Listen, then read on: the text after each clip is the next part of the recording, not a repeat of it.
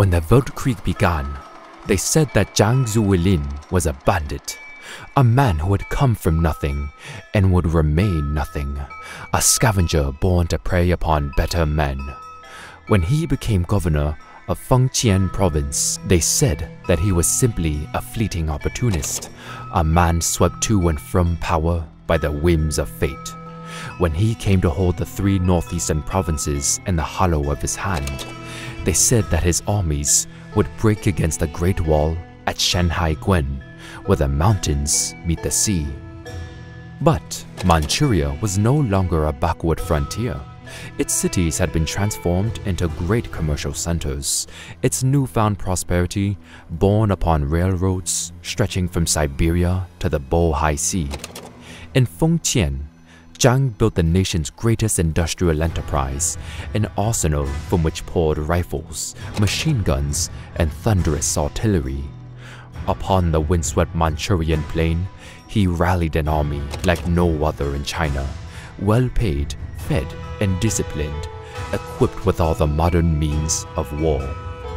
And so, when he seized Beijing and his forces rolled across the North China plain, they then called him a tiger the Venerable Marshal of Mukden, the Grand Marshal of Fengtian, a rival to the Jade Marshal himself.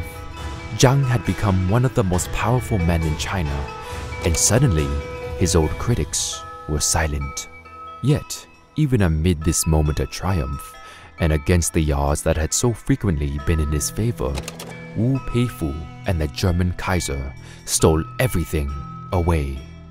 In a swift and decisive coup, Zhang's armies around Beijing were crushed and then driven back beyond the Great Wall. Even the greatest army can be beaten in maneuver. Every attempt to turn the tide failed.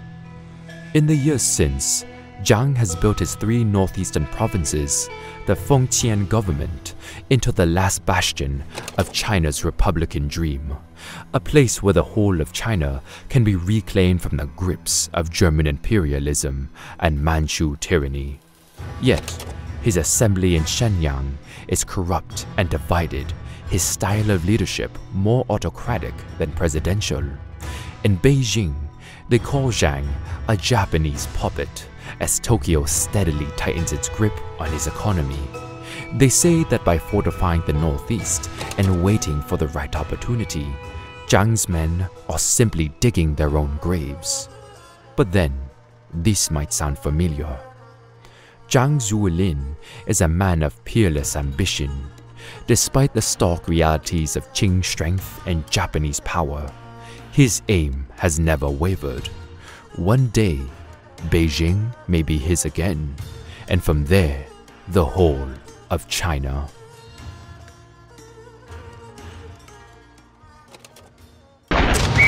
Kaiser Cat Cinema needs you! Back the attack! Share our content or dash over to our Alt History webshop. Even trapped in lockdown, our offensive does not cease. Thanks to all our webshop customers and patron backers who continue to back the attack. This month, we are welcoming more new patrons than ever. Rogan, Martin Svensson, Matt Davies, Kerncare 13, Kicker, they are joining our top backers, Daniel Smith, Davo, Kingfish 58, Stefan Gunnarsson, Alex Lepage, Jill Bates, and our 52 other patrons, and thousands of webshop customers. Feel free to join our patron program if you would like to have your portrait appear as a cameo character in our upcoming Divided States animatic. Thanks for everything and see you for the next one, cats.